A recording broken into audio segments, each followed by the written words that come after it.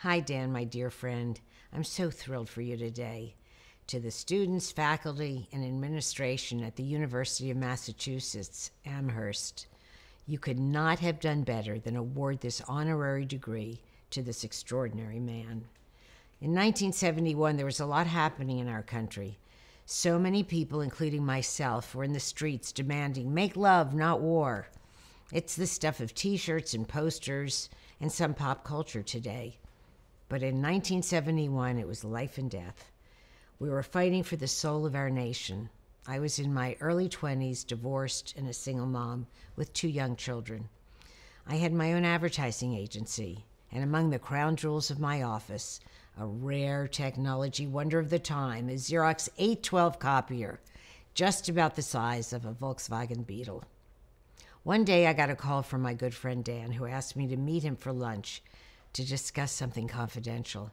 He wanted to know if he could use my Xerox machine to copy some top secret documents. We all know the purpose. Now people don't appreciate this. You hear Pentagon papers and you think, what, maybe 100, 200 pages. We're talking about 7,000 pages of eyes only, top secret, confidential documents. Something you hear about in the news now every day. And copy away we did in secret into the nights. This document and what we would realize later was a historic moment. Dan started out as a supporter of the war, and by the end, he was seriously opposed, a brave hawk who became a heroic dove. He was indicted. I was an unindicted co conspirator. And two years later, we were vindicated.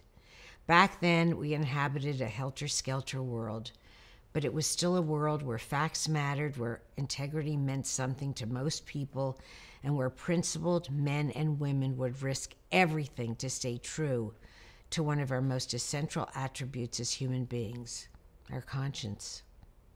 University students today will go out in the world and shape and lead what comes next. But no matter what path you choose, I can't imagine a better role model than Daniel Ellsberg. In 2018, I held a dinner party at my home in Los Angeles to celebrate the Chinese New Year. Dan was there, so were the four women he describes as the most important women in his Pentagon Papers journey. Jane Fonda, who he calls his inspiration, Barbra Streisand, who, when things were at their toughest, held a concert to raise money to keep the defense fight going. Me, his co conspirator, and most importantly, his beautiful love, Patricia. Like we were then, today, you are all in the presence of true greatness. I hope for the sake of our country and our world, it's contagious. University of Massachusetts Amherst, you've made a brilliant and timely selection in bestowing this much deserved honor. Dan, we all thank you, and you know I love you, and I will be your co conspirator any day.